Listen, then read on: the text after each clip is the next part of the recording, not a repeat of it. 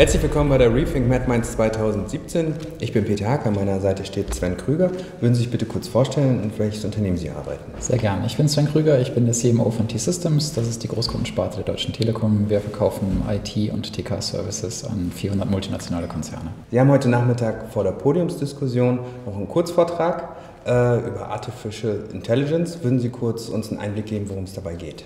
Ja, ich mache eine kurze Einführung, wo ich darauf eingehe, wo wir gerade stehen.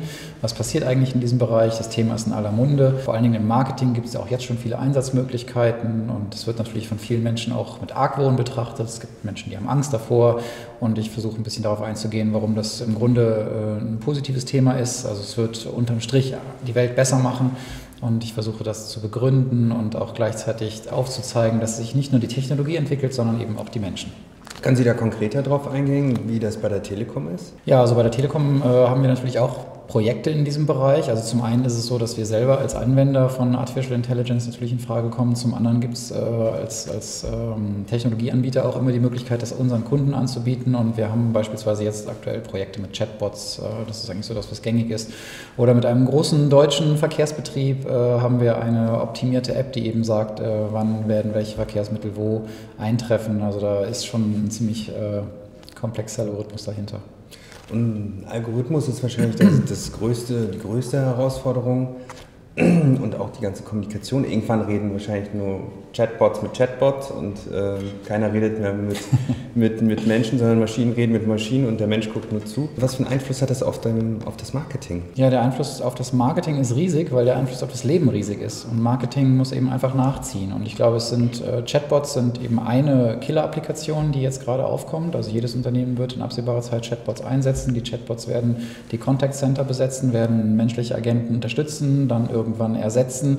Chatbots äh, sind aber nur eine Ausprägung. Ja, ich würde es mal größer fassen und sagen, es sind äh, digitale Assistenten oder virtuelle Agentensysteme, die sich im Netz eben mit bestimmten Berechtigungen frei bewegen und die alles Mögliche für uns erledigen werden. Und da geht auf jeden Fall eine der unterschiedlichen Zukunftswege hin. Und was macht die Telekom ganz konkret als Projekt oder was Sie gerade schon umgesetzt haben oder umsetzen? Also es gibt, glaube ich, nicht das eine Projekt, sondern wir sind auf ganz vielen unterschiedlichen Projekten unterwegs, die sehr vielfältig sind, so vielfältig wie unsere Kunden und deren Industrien und Bedarfsfälle. Wir selber sind eben jetzt gerade an dem Thema Chatbot dran. Also ich probiere auch jetzt bei uns im Marketing gerade zwei verschiedene Chatbots aufzusetzen. Der eine, der, der ist gar nicht so richtig Marketing, der ist mehr so ähm, Employer Branding. Da geht es eben darum, dass wir im HR-Bereich, wo wir Talente akquirieren wollen, einen Chatbot einsetzen, der schon mal die Auswahl nach freien Stellen ein bisschen erleichtert. Und dann hätte ich gerne noch einen zweiten Chatbot, der einfach hilft, durch das Cloud-Angebot zu navigieren. Wie ganz konkret sieht der Chatbot dann aus? Was soll er tun und was macht er?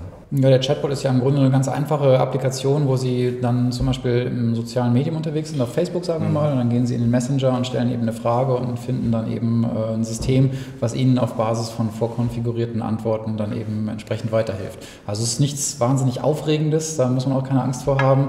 Es stößt auch schnell an die Grenzen. Man ist immer erstaunt, wie tatsächlich äh, irritierend blöd diese Systeme am Anfang sind, aber die lernen eben schnell und äh, werden dann eben besser und leisten richtig gute Services dann.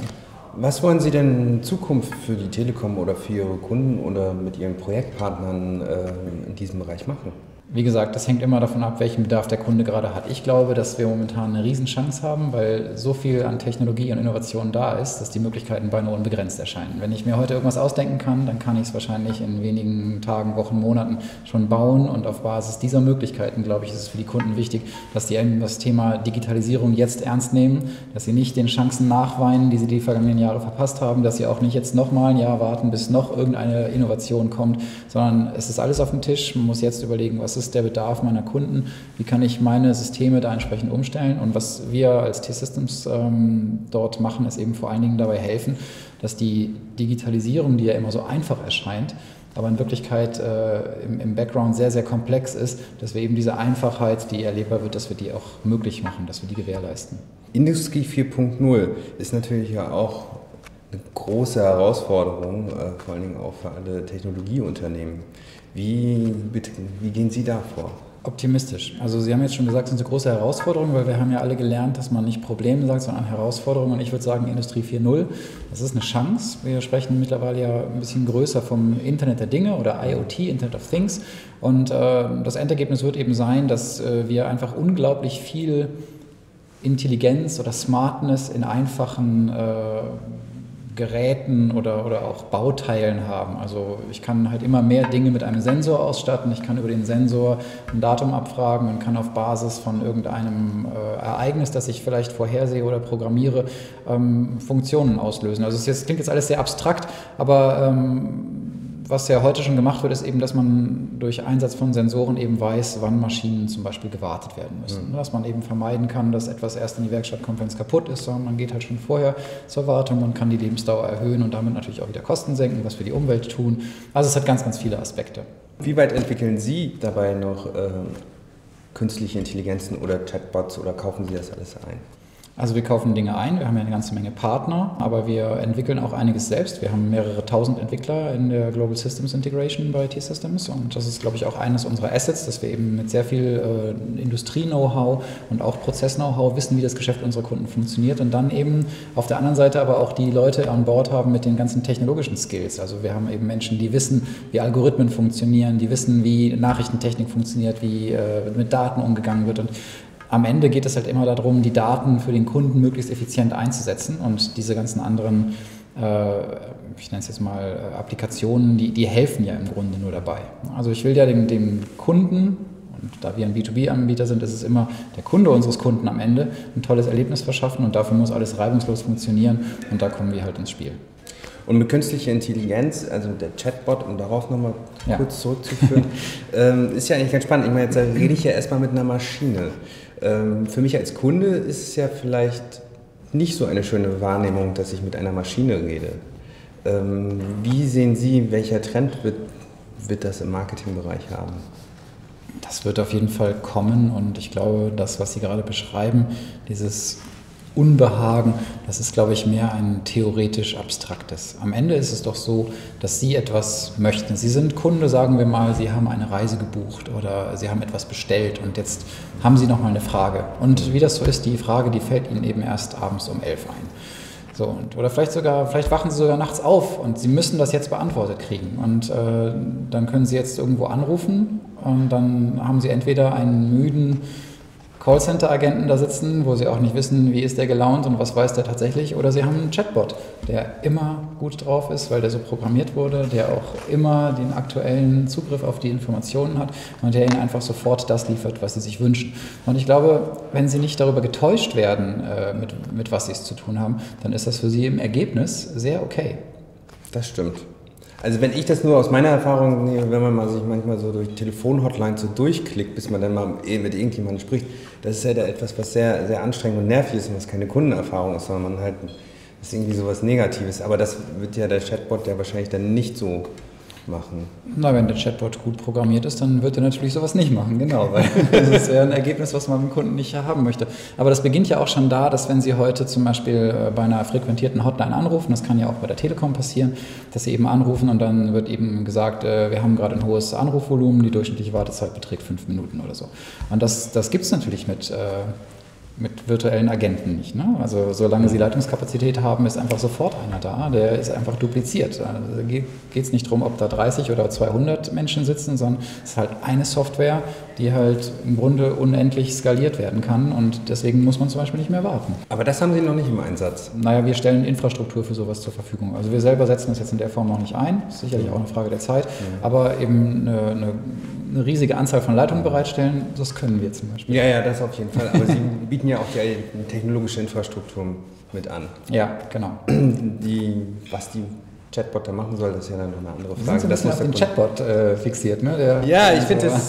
das ist ja nur so ein, ein kleines Szenario für künstliche Intelligenzanwendungen. Aber okay, ist natürlich eins, was man jetzt schon sehen und erleben kann. Ich glaube, das ist eine so für mich selber ist was, was man so greifen kann, weil mhm. so künstliche Intelligenz, so was stellt man sich dann da vor? Ich meine jetzt, ja. äh, das ist natürlich auch schwer. So wie Digitalisierung ist es ja natürlich ein Begriff, der, der schwer zu mhm. greifen ist.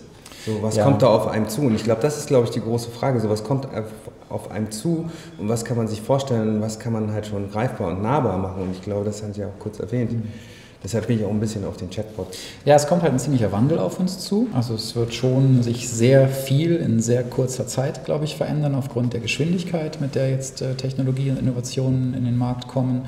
Ähm, Unterm Strich werden die Resultate, glaube ich, größtenteils gut sein, weil äh, sehr viel in unserem Leben, was wir jetzt schon toll finden, eigentlich noch gar nicht toll ist. Zum Beispiel dass ich jetzt äh, immer ein Smartphone aus der Tasche ziehen kann und dann gebe ich halt irgendwas ein und suche das. Ja? Also ich meine, wie viel Zeit verbringen wir am Tag mit Suchen? Ja? Das ist einer der Gründe, warum jeder Google kennt, weil man andauernd sucht.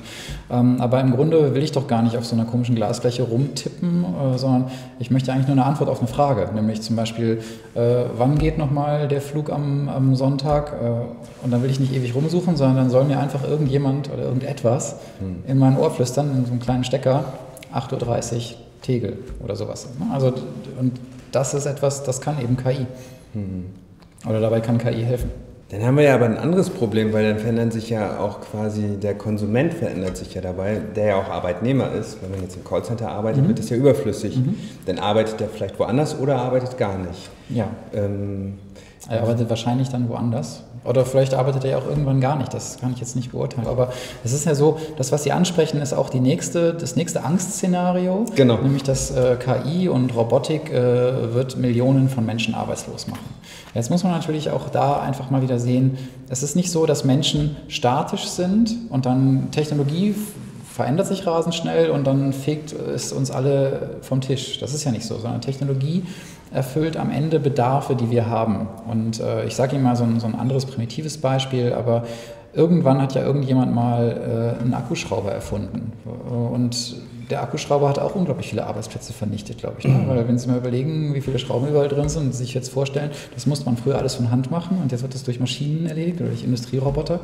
Tatsache ist aber, dass aufgrund all dieser Innovationen ähm, die Arbeit nicht weniger geworden ist, sondern die Arbeit ist immer mehr geworden. Und es entstehen einfach ganz andere Arbeitsplätze. Und das gibt ja ganz viele Untersuchungen oder Studien dazu, die eben sagen, äh, in 2025 beispielsweise, da wird es äh, einfach keine Ahnung, 30, 40 Prozent äh, von Jobs geben, die heute noch überhaupt nicht bekannt sind. Also wenn Sie jetzt ein, mhm. Kind haben, was eingeschult wird, dann wird das mit einer hohen Wahrscheinlichkeit äh, in 15 Jahren äh, etwas arbeiten, was Sie jetzt noch überhaupt gar nicht kennen. Das ist auf jeden Fall wahrscheinlich wahr. YouTuber zum Beispiel. Ne? Also ob es das noch gibt, weiß ich dann natürlich nicht, aber so als, als ich zum Beispiel 20 war, da gab es halt kein YouTube und da wusste auch keiner, was ein YouTuber ist.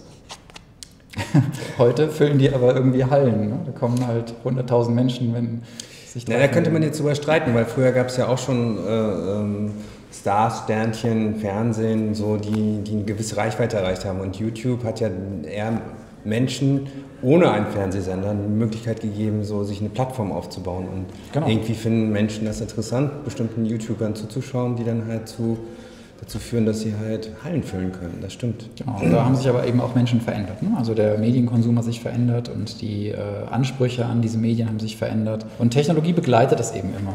Zum Beispiel, wenn Sie jetzt heute das Internet nehmen, dann ist es einfach stark dominiert durch Bewegtbild und Interaktion.